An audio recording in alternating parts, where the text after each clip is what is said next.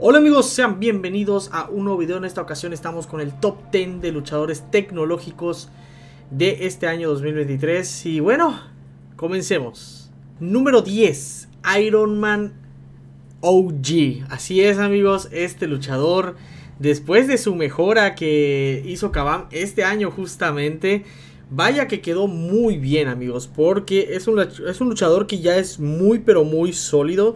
Eh, tanto en Battlegrounds, mm, contenido normal, eh, incluso guerras de alianza, puede llegar a ser utilizado. Es un, un defensor muy decente realmente, tiene su factor de curación, eh, puede llegar a tener inmunidades dependiendo de las armaduras que tenga activa este luchador. Entonces es un luchador realmente muy sólido después de el luchador que llegó a ser, que prácticamente no servía. Ahora sí que es un es un campeón que eh, realmente es muy sólido y puede ser utilizado. Entonces, así que por eso es que él se ha ganado esta posición. Número 9. Guardián. Este luchador eh, recientemente fue agregado eh, a los cristales de 7 estrellas básicos. Es un luchador que anteriormente estaba dentro del cristal titán. Pero realmente es un luchador que... Cuando cambia de 7 estrellas es una locura, amigos. Es una locura. Es un luchador que incluso no puede, eh, no necesita incluso la dúplica, pero la dúplica obviamente lo mejora bastante, al igual que el Iron Man. Em, realmente el daño que puede llegar a ser guardián es muy bueno. Hay que destacar también que luchadores tecnológicos eh, no hubieron tantos que digamos en este año. Entonces, sinceramente, guardián ha sabido mantenerse dentro del juego eh, eh, como un luchador tecnológico muy bueno porque puede llegar a ser un muy buen counter para luchadores eh, mutantes, sobre todo por esa resistencia que él llega a tener, tanto la resistencia energética es, es, increíble. Entonces es un luchador que sin duda alguna, si ustedes lo llegan a tener, es muy sólido para, para tener en su equipo. Número 8, Shocker o conmocionador como muchos lo conocen. Es un luchador que eh, también recientemente fue agregado al pool de 7 estrellas. Eh, actualmente nos encontramos en vísperas de Navidad. Él fue agregado en el cristal navideño. Y pues si ustedes tienen la fortuna de haber conseguido a Shocker, déjenme decirles que a pesar de que esté en octavo lugar, no quiere decir que no sea bueno amigos. Recuerden, todos los luchadores dentro de, esto, de este top y de todos los tops que vayan a ser mencionados, los luchadores son luchadores que valen la pena siempre rankear, ¿ok? Eh, el nivel de en el que el número en el que termine yo poniéndolos realmente no significa que uno sea mejor que el otro, ¿ok? Entonces, el Shocker realmente es una fichita, amigos, sobre todo si ustedes están al tanto de YouTube, muchas, muchos youtubers, mucha gente está empezando a subir videos de eh, mostrando sobre todo el daño que el 7 estrellas puede llegar a hacer. Realmente cuando yo les he mencionado que los 7 estrellas el daño incrementa abismalmente, créanme, tal vez ustedes no han visto el daño de los luchadores de 7 estrellas, hablando un poco más en general. Y pues bueno, el conmocionador no se queda atrás. Eh, yo he visto que conmocionador incluso en rango 2 ha llegado a hacer casi medio millón de daño por un solo golpe. Obviamente haciendo sus respectivas rotaciones que... Eh, no vamos a hablar de eso en este video, pero realmente si tienen a conmocionador en su equipo, en su lista de luchadores, créanme, no se van a arrepentir para rankearlo porque él puede llegar a bajarse incluso a luchadores muy problemáticos como por ejemplo el maestro, que es uno de los peores defensores hoy en día. Así que eh, no se sientan mal si lo llegan a tener en sus fuerzas. Número 7, Spider-Man Stark. Así es amigos, desgraciadamente Spider-Man Stark todavía no está disponible como luchador de 7 estrellas es, un, es un luchador que yo realmente veo que Kabam sí agregaría como 7 estrellas. Eh, habrá que ver cuánto tiempo se demora en, colocarlo. Y sin duda alguna, eh, si realmente me enfocara yo solamente en los Battlegrounds, eh, él obviamente estaría mucho más abajo, o sea, en mejor posición. Sin embargo, lo único que le afecta, en mi opinión, es que por el simple hecho de ser un Spider-Man tiene muy pero muy poca vida, como ustedes pueden ver en la versión de 6 estrellas ya en rango maxiado tiene muy poca vida. Ese es el único problema casi de todas las arañas que si bien llegan a tener daño muy pero muy bestial, la vida les perjudica bastante. Eh, sin embargo, eso no quiere decir que no siga siendo muy determinante dentro del juego, amigos. En general, sirve mucho tanto para guerras, para gesta, misiones normales, eh, supermisiones, etcétera, etcétera. Es un luchador muy sólido y créanme que si lo llegan a tener no se van a arrepentir de subirlo a rango 5 e incluso ascender a este luchador porque pues no existe la versión de 7 estrellas aún. Número 6. Lady Deathstrike, amigos, así es. Me habría encantado tal vez ponerla un poco en una mejor posición. Porque particularmente es un luchador que a mí me encanta, amigos. Eh, fue agregada obviamente en este año. Y me recuerda mucho a la jugabilidad. Eh, bueno, no jugabilidad, sino daño de tira un poco. Eh, obviamente no se compara el daño, pero tiene una habilidad muy parecida de que dejas roturas al enemigo. Entonces, lo más increíble de este luchador es que esas roturas puedes pausarlas y ves cómo va bajando el daño del enemigo, pero horriblemente. Eh, una de las habilidades que más me encanta de Lady Deathstrike es que puede recibir daño por especiales y si tiene su armadura activa prácticamente se va a curar toda la vida de vuelta. Entonces es un luchador muy pero muy bueno. Eh, de los mejores tecnológicos que pueden eh, que pudieron haber salido en este año. Sin duda alguna es ella.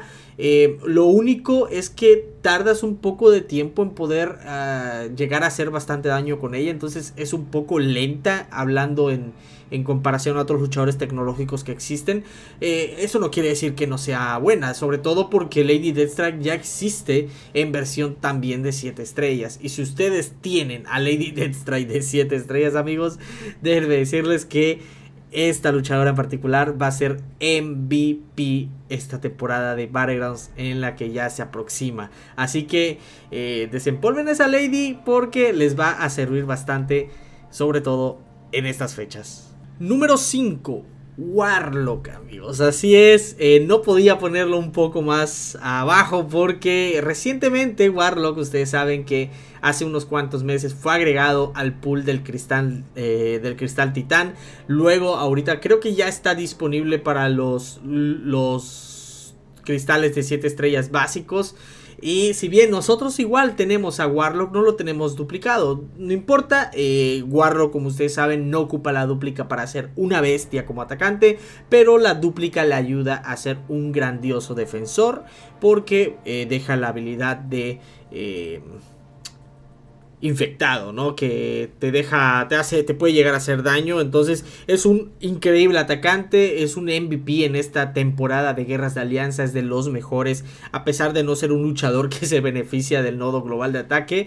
Warlock es uno de los mejores, de las mejores opciones para bajarse a cualquier defensor de ese nodo global. Eh, lejos de ser, de saber que es muy bueno, es increíble para Battlegrounds, tanto en defensa como en ataque, como lo habíamos mencionado. Y es un luchador de 7 estrellas que, pues bueno, los 7 estrellas no vienen más que cambiar enteramente el juego. Entonces, sí, definitivamente bien merecido esta posición para el queridísimo Warlock. Número 4. Así es, amigos, como ustedes pueden ver en la pantalla, Ant-Man del futuro, este luchador, vaya que se ha vuelto un némesis tanto para mí como para la gran mayoría del eh, juego. Ant-Man del futuro después de su corrección que le hicieron, eh, no hicieron más que mejorarlo porque la habilidad de desvío que llega a tener Ant-Man del futuro es absurda. Es un defensor increíble que si no llegas a tener un buen counter para poder bajarte a esta hormiguita, créanme que va a ser de los peores defensores que se van a poder topar, incluso peor que el gran maestro, o sea, que el maestro, eh, no el gran maestro, el maestro, bueno, eh, realmente es un luchador que incluso, a pesar de que no lo sepa mucha gente, es increíblemente bueno atacando. De hecho, yo llegué a utilizarlo en su momento, lo he llegado a utilizar bastante en guerras de alianza, sobre todo hace unas cuantas temporadas, porque es un personaje muy sólido como atacante y puede llegar a ser muchísimo daño. Entonces, eh, desafortunadamente no lo tenemos en versión de 7 estrellas. Porque si realmente lo tuviéramos en una versión de 7 estrellas, yo creo que podría rozar el top 3 de este top, ¿ok? De, bueno, de luchadores tecnológicos en general. Entonces, eh, sí, sin duda alguna, Ant-Man del futuro es uno de los luchadores de 6 estrellas más fuertes dentro del juego. Número 3, Nimrod. Así es, el Nimrod, amigos, ocupa sin duda alguna este número 3. Eh, no ha salido la versión de 7 estrellas, sino tal vez podría llegar a ser el mejor tecnológico. Como lo he mencionado anteriormente, eh, Kabam no ha sacado eh, ese luchador top tecnológico que todos necesitamos, como en otras clases que han llegado a salir esos luchadores tops que jamás los van a sacar, jamás los van a quitar del top 1. Bueno, eh, para muchos podría ser Nimrod mejor que, que, que, los que van a estar arriba o peor que los que están eh, abajo. Pero eh, sin duda alguna Nimrod sigue siendo determinante porque es un aplasta mutantes. Literalmente se baja casi todos los mutantes dentro del juego. Eh, aunque hay sus pequeñas excepciones, ¿no? Obviamente como todos los luchadores.